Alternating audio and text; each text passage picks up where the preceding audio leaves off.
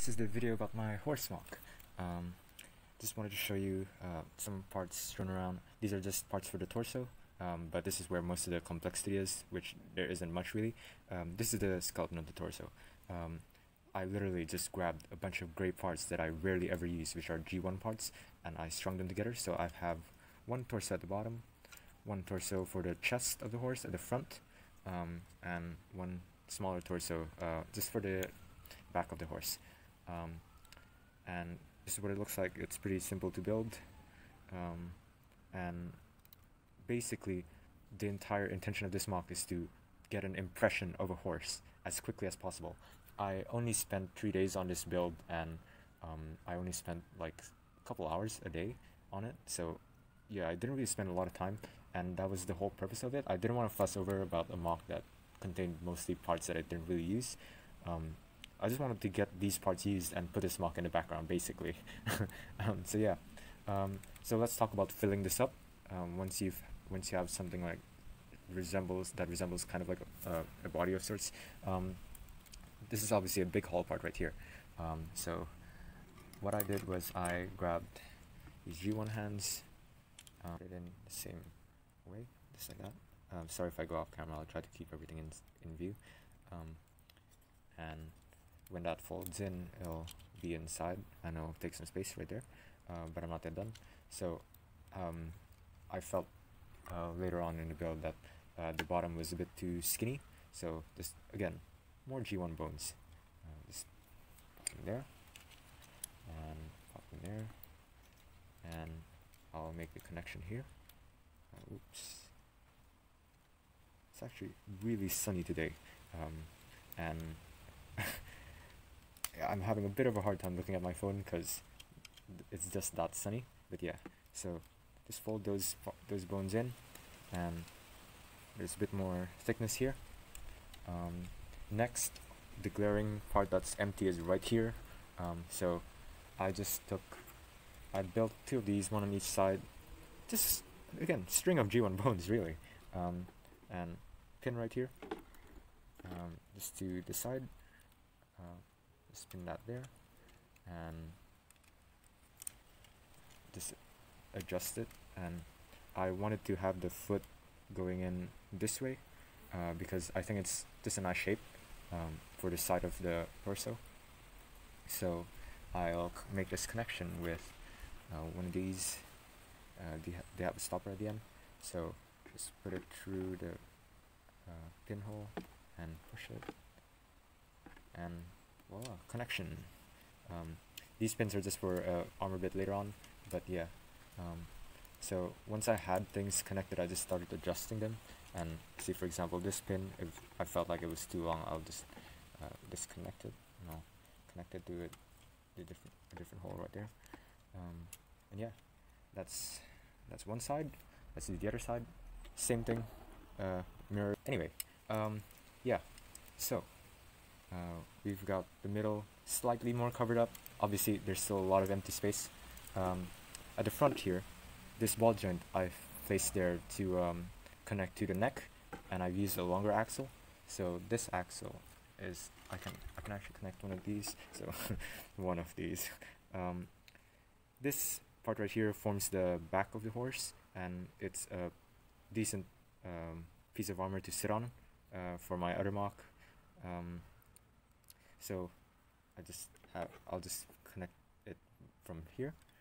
Um, and yep there you can see the axle. I'll just push that in. Not even gonna care about whether the length is perfect or not. Just push it in. Um, and now you can start to see that the shape of the horse is forming here. Um, and if something's not to your liking you can always just adjust it because they're all bones Okay, so as I was saying, um, this part right here is empty. Um, so let's have one of these um, sockets. These are great because they have uh, three three ways of connecting to other parts. So okay, this is a bit tough, but there you go. Um, so first thing I'll do is fill fill the gap. Um, so I'll oops, I'll just grab some armor like this and pop it in the middle fold this in. And there you go. It's kind of covered, kind of. Um, obviously it's not fully covered yet, so let's fix that. Um, I'd firstly like to um, cover these bits, and then I'll get to here. Um, so just, I just have these hortigraphite. I bought a ton of these on uh, Bricklink because they found them for fairly cheap.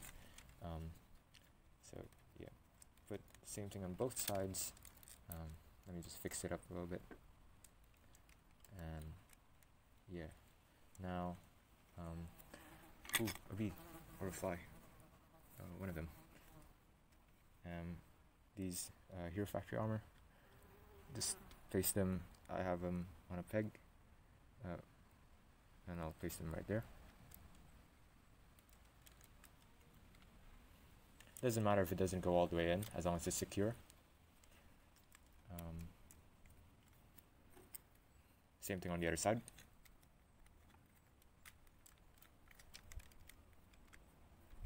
And it's coming together now.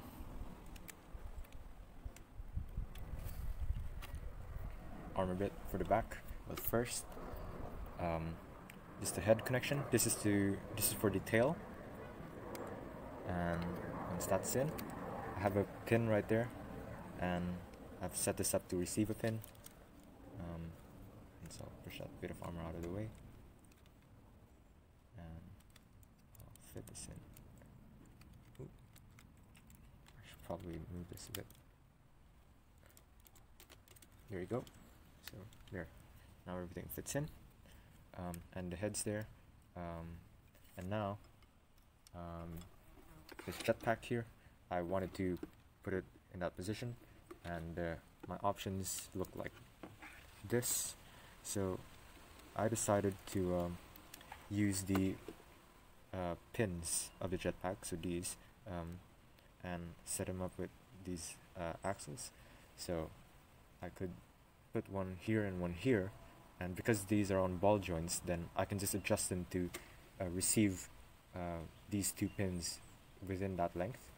So it's pretty easy to just pop these in.